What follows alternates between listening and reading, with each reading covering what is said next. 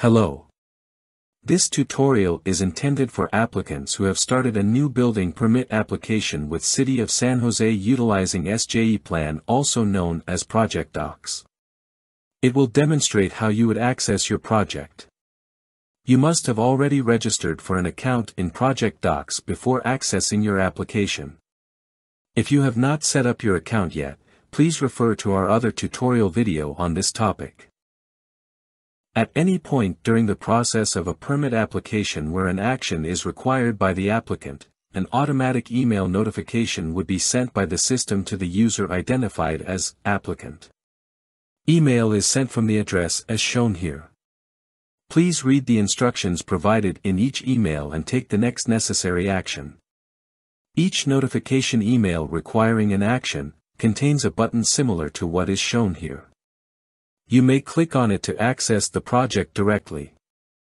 In some cases, as in the example shown here, this button will also start the task you are required to perform. Alternatively you can access the ProjectDox site at any time by using the direct URL site address, even if you have no task assigned to you. Once you reach ProjectDox site, you must enter the email address and password you have used to register for your account, and click on Login. If you have accessed the site directly and without using any task buttons inside email notifications, you will be routed to the ProjectDox portal dashboard, where you would see list of all your applications that are processed through ProjectDox. If you have many applications, dashboard may not show the specific project you are looking for, on first page. You may navigate through other pages of dashboard to locate the intended project.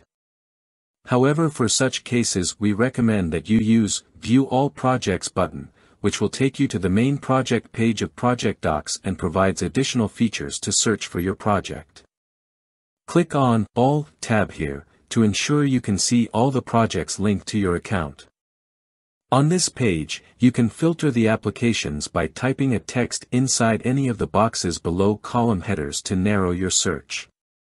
You can also sort the results by clicking on any of the column headers which toggles between ascending and descending order for each click.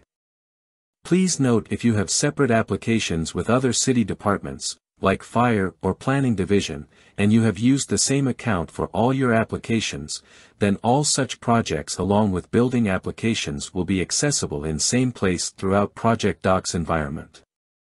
You can identify your building permit applications by the two-letter suffix following the application number.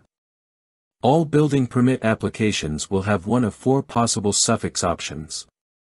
RS, for one and two family residential dwelling projects. CI, for commercial and industrial projects. MF, for multifamily projects. And TM, for tract multifamily new construction. TM and MF application types may sometimes be used interchangeably at discretion of building department, based on specific needs of a project for issuance of permit, and they have no specific impact on plan review activities in ProjectDox.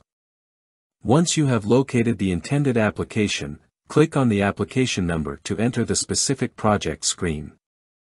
Project environment consists of several tabs.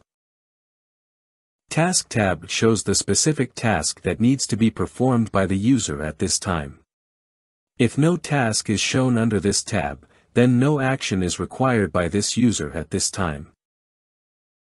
You can view the project workflow by clicking on the workflow thumbnail here.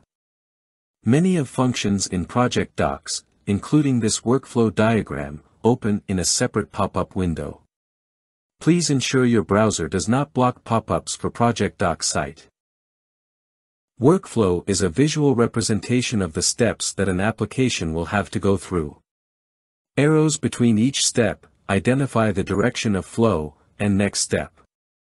Inside the workflow view, you can zoom into different portions of workflow by using the blue window box in the outline window. You can also move the blue box, to view different parts of the workflow. To go back to the original overall view, click on Refresh link at the top. Green box indicates the current active step of the application. Orange boxes denote the tasks that will have to be performed by city staff. Blue boxes show the tasks that must be performed by project applicant. These tasks will be triggered when needed based on progress of the project. Pink and white boxes denote automatic actions of ProjectDox. In the case of clearance step however, the action will be auto-completed, once workflow reaches this step, and only if your project has passed the review of Public Works Department, and clearance have been granted. In cases where Public Works Development clearance is not applicable to the scope of project, this action will be automatically completed by ProjectDox. Once the workflow has passed Notify Download step, it means that permit has been issued. Applicant will receive a notification email indicating that permit documents are ready to be downloaded. Please refer to other tutorials for final step of application and receipt of approved files. Files tab shows the ProjectDox folders accessible to current user. Status tab provides a quick overview of status of the project at this time. Workflow routing slip link provides detailed report of step-by-step -step actions taken on this project up to current time. Info tab provides general information about the application. Reports tab shows available reports on this application. You may open the reports by clicking on the blue hyperlinks. In all pages of ProjectDox where information is shown in tabular format, such as all projects home page, seen in this example, you can customize the view. Click on one of the small cog wheels, shown at right side of each column header. You can use the Move to option, to rearrange the columns. You can also rearrange the columns by simply clicking on the column header and moving it to desired location.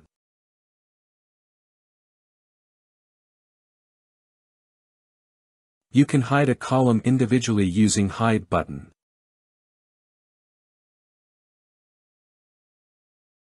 You can use the column chooser option, to reset the view, back to its default condition.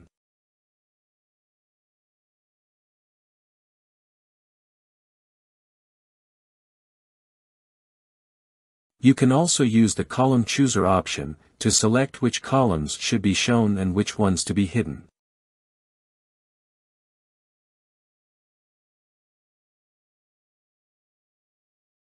Once you have made your selections, you can save the current setting for this particular page of ProjectDox using Save Settings button. You may use the Reset Settings option, to return the screen back to ProjectDox default condition. This concludes the tutorial on project access and navigation.